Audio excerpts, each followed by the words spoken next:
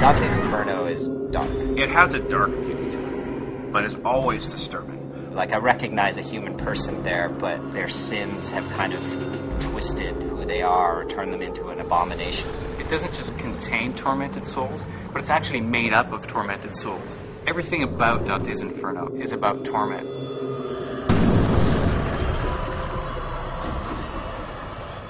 In Lust, the tormented souls are uh, their lovers searching for each other. They're denied each other, and that's their punishment. Reaching out to each other, but never able to touch.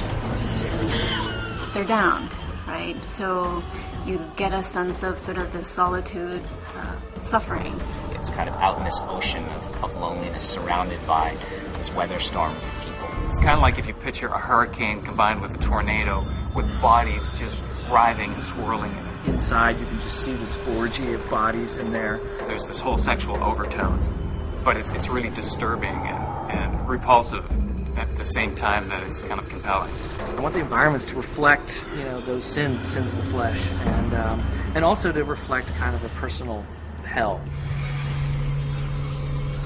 As sort of seductive as you know all those images that you have when you say the word lust, it's actually pretty violent.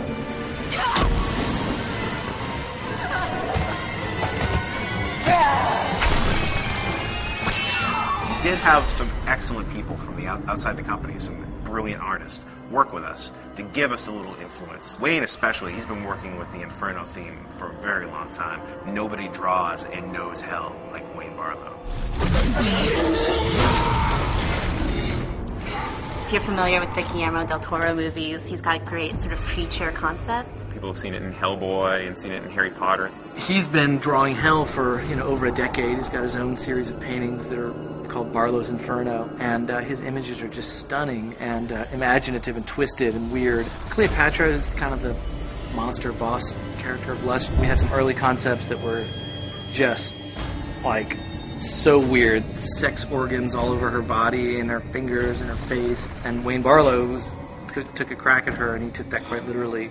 And uh, that was like a really creative and fun exercise, but ultimately not a character that I think, you know, would have served the game.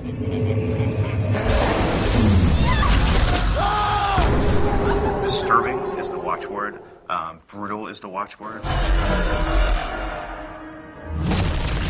world is being beautifully rendered, but is always disturbing. You know, it sounds easy, like, oh, cool, we'll do a level based on, you know, around violence. You know, we'll do a level based around lust. Like that'll be easy. But then you sit down to do it, and you really struggle to, to push the boundaries. You can be totally gratuitous and really kind of like silly about it and really pornographic about it. You know, let's just hang a huge penis out there and, you know, call it a day. You can also make it um, kind of interesting, thoughtful, and provocative.